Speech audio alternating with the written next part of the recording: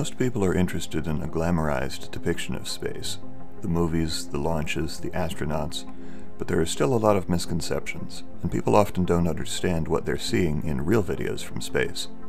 One of the most frequent questions is Where are the stars?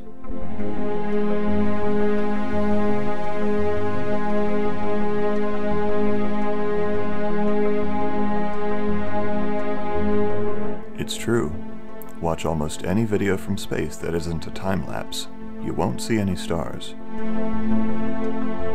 From America's first spacewalk in 1965 by astronaut Ed White,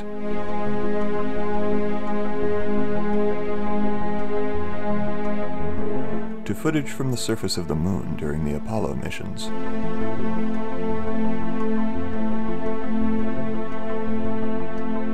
To helmet cam videos from numerous astronaut EVAs. And NASA's high-definition Earth viewing live stream from the International Space Station. The moon is visible, if a bit dim, but the stars are not.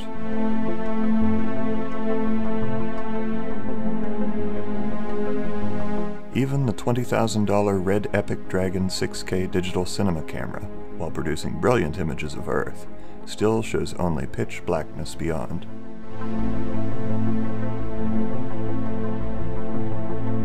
So, where are the stars? We know they're up there. We can see them with our own eyes at night. Some conspiracy-minded people like to claim that the lack of stars proves that all space videos are fake. This is nonsense, of course. The real answer is simple. Cameras can't properly expose both bright and dim objects at the same time. Okay, so here we are outside on this beautiful sunny North American day in a backyard that may or may not be mine. And we're going to conduct a test. Right now it's daytime, and here we have a subject, a little taco eating unicorn that we're going to take a picture of.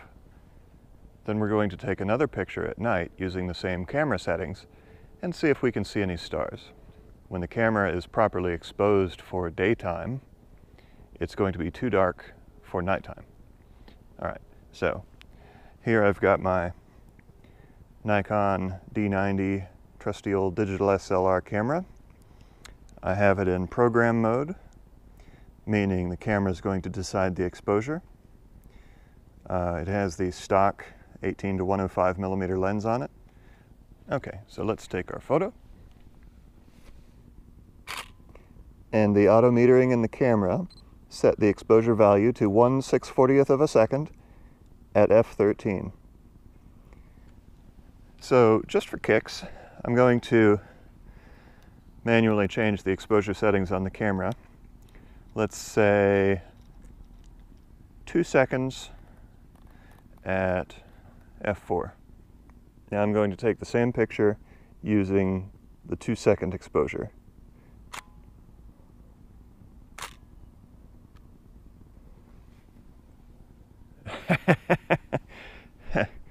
yeah, it's just a pure white uh, screen. It's completely overexposed because there's way, way too much light out here for a two second exposure.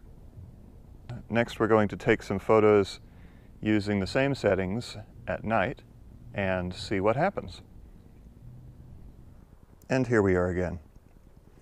It's a nice clear night, a slightly brisk 42 degrees Fahrenheit.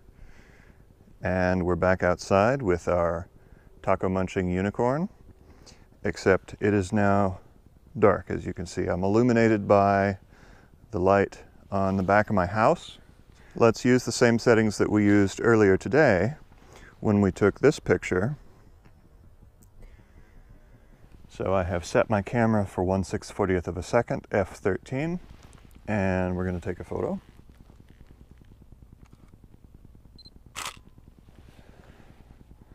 Okay.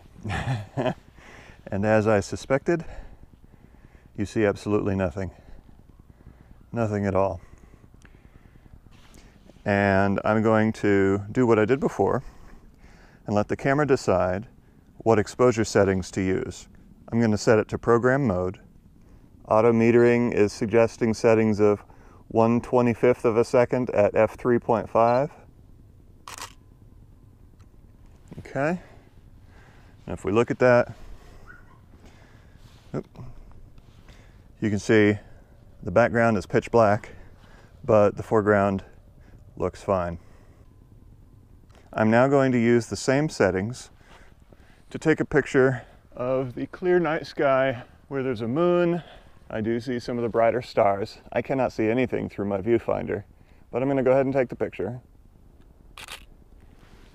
Not surprisingly, it is pitch black. the other photo that I took earlier, where it was completely overexposed, two seconds at f4, set those.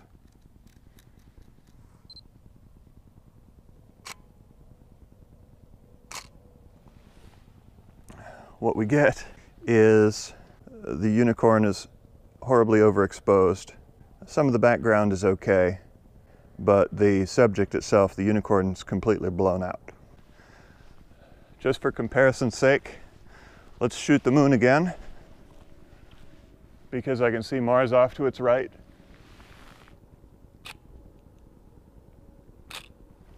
We see the moon is overexposed. And if we zoom out a little bit, Mars. Yeah, and it looks like a smudge because again, it was a two second exposure uh, handheld, not on a tripod. But the point is, in order to see stars and planets, you need very high light sensitivity or a long exposure. In other words, in order to get a proper exposure, even on an illuminated subject at night, you need camera settings that will show you absolutely nothing if you're looking at the night sky. And there you have it.